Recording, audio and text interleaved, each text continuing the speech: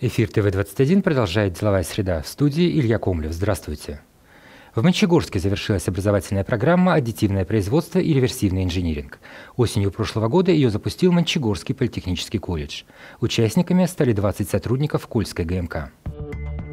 Программа – один из результатов сотрудничества колледжа с градообразующим предприятием и агентством развития Мончегорска. Это часть работы по реализации стратегии трансформации учебного заведения, адаптации его к современным требованиям и вызовам, стоящим перед производством, городом, системой образования такие внебюджетные программы, которые плотно связаны с индустриальным партнером, с новыми академическими партнерами, показывают о том, что колледж может э, трансформироваться, может создавать новые интеллектуальные востребованные продукты. И в дальнейшем, я надеюсь, это будет уже э, поставлено на более серьезный рельсы и поток.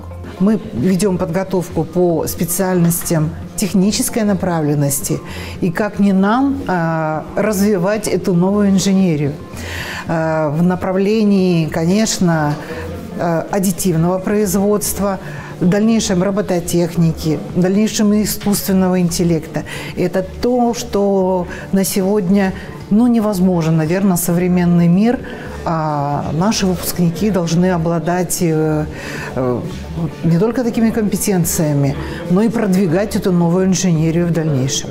Восьмимесячный курс программы переподготовки. Кроме дипломов, его слушатели получили право на производство изделий методом аддитивных технологий. Итоговая аттестация прошла в форме защиты проектов. Все они направлены на решение конкретных производственных задач. Темы предварительно были одобрены руководителями структурных подразделений Кольской ГМК.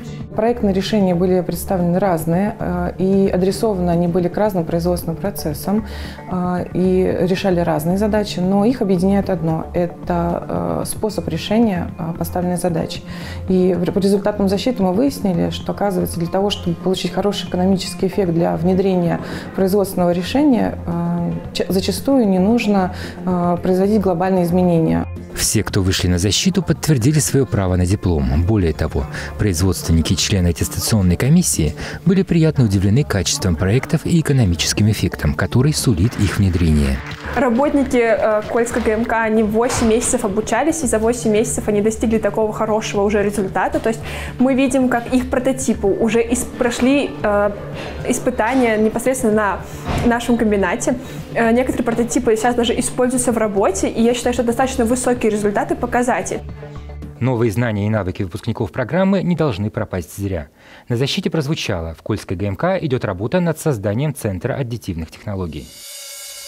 Центр в том числе будет аккумулировать готовые модели для 3D-печати. Первым взносом в этот банк станут проекты выпускников программы. Сделать без оригинальных чертежей замену изношенной детали не такая простая задача. Здесь как раз на помощь и приходят аддитивные технологии и реверсивный инжиниринг. Готовую деталь сканируют, создают ее точную 3D-модель, на цифровой копии исправляют дефекты, а затем отпечатывают на многоосевом принтере.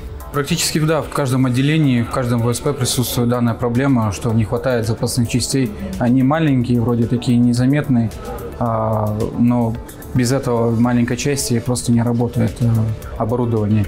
И приходится ожидать закуп э, в текущих условиях. Это продолжительное время занимает. И поэтому мы ну, пришли к тому, что нужно изготавливать самим и подбирать материалы печатать и устанавливать на оборудование, чтобы меньше было простое. Мне очень нравится вообще это направление. Я по образованию горный инженер. А, очень интересны инженерные науки, чертежи, моделирование. И когда представилась такая возможность, я, не думая, сразу же подала заявку, чтобы поучаствовать. А помимо 3D-моделирования, да, нас э, учили еще коммуникативным навыкам, а, э, инструменты бережливого производства и теория решения изобретательских э, задач. Лично для меня проект оказался очень полезным, потому что мы научились бороть свои страхи, свои сомнения. Мы стали более смелее выступать на публике, доказывать и отстаивать свои точки зрения. Это первое. Второе, мы занимались непосредственным моделированием. Я думаю, вы прекрасно понимаете, что любое обучение – это в копилку прежде всего э, к себе в голову, правильно? Э, потому что ну, навыки очень полезные, они современные, и в будущем они будут только еще больше востребованы. Такой выдалась эта деловая среда. С вами был Илья Комлев. Удачи и до встречи.